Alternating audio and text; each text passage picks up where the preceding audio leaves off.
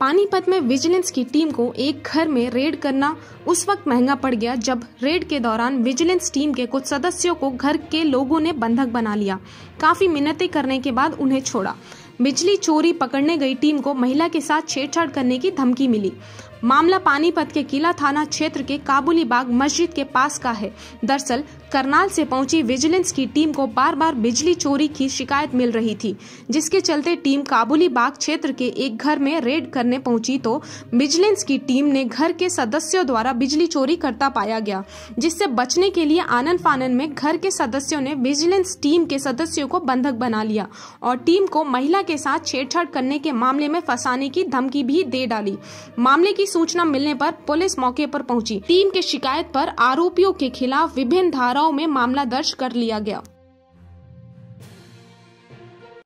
हमें यहाँ चोरी होने की सूचना मिली थी। हमने आके इनके कहा ऊपर मीटर चेक करने, हमारे से पहले इनका लड़का ऊपर जाके उसने डोरी हटा दी।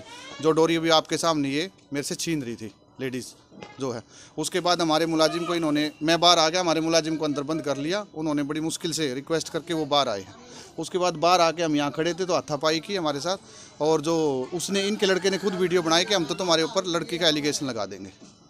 उसके बाद हमने अपने एसएचओ को और अपने एक्शन साहब को डीएसपी साहब को फ़ोन किया। तो कहीं ना कहीं सरकारी काम में बाधा डाली सरकारी काम में बाधा तो है। आपके सामने जब अभी आपके सामने जब हमारे हाथ से डोरी छीन रही थी ये तो बाधा तो हो ही गई। यहाँ बिजली चोरी के लिए आए थे चेकिंग के लिए अपने टीम के साथ। तो इनका मीटर बाहर लगा हुआ था, हर तार ऊपर से जा रही थी। तो हम ऊपर चेक करने के लिए जाने लगे। तो एक लड़का भागा इनका आगे तार हटाने के लिए। और इतने में ही अंदर से आ गए गाली गलौज करने लग गए। कहने के जी आपने पूछा नहीं, और जबकि इनका लड़का साथ था, हमारे पास रिकॉर्डिंग में भी है। इसका लड़का साथ था। तो पुलिस वाला जो हमारे साथ था, उसको अंदर बंद कर लिया। हम तो मुश्किल से बाहर निकले, हमारे साथ हाथापाई करने लगे, और पुलिस वाले को तो अंदर बंद कर लिया गेट बंद कर लिया। जब हमने कहा, हमारे पास सारी रिकॉर्डिंग है कैमरा देखा, इन्होंने हमारे हाथ में सरकारी कैमरा है, सब कुछ है।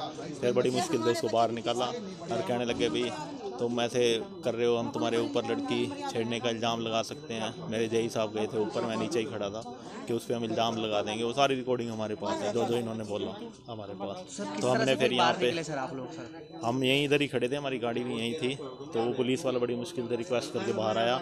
इतने में उस लड़ जो आदमी था यहाँ पे उसने बाहर आके मिसबिहेव करा। तो फिर हमने डीएसपी साहब को फ़ोन करा अपने एसएचओ साहब को फ़ोन करा तो जब यहाँ पुलिस टीम आई अब जाके हमने ऊपर फिर इनका चेक करा। वो आदमी यहाँ से चला गया पता नहीं अब कहाँ गया किले में गया कहाँ गया। इनका भी वो हम बिल देखेंगे बाकी इसमें ऊपर ज्वाइंट था वो हमने कर लिया वीडियोग्राफी कर ली सब कुछ कर लिया और वो तार हमें वहाँ पर पड़ी पाई ऐसा था जी, मैं विजिलेंस में कार्यरत हूँ और टीम के साथ यहाँ आए थे चेकिंग पे। इस मकान में जाने लगे। जय साहब मेरे साथ थे और हम जैसे अंदर पूछ के गए थे, इनका लड़का मेरे साथ था एक। उससे पूछा था कि मकान में है, मकान है। तो वहाँ चेकिंग करनी है वो साथ ही गया। वहाँ ऊपर जाके हल्ला करने लगा कि बाहर निकलो बाहर निकलो। जय साहब आ गए थे, वहाँ देख लिया था उन्होंने।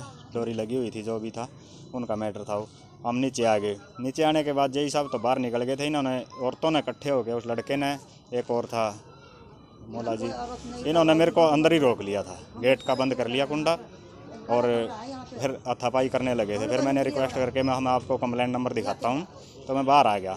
बाहर आने के बाद भी जय साहब से भी इन्होंने हथापाई करी है और बोले हम एलिगेशन लगा देंगे कि औरत के बारे का। तो कानूनी कार्रवाई होनी चाहिए। कानूनी कार्रवाई तो होनी चाहिए सरकारी काम में बाधा है जी।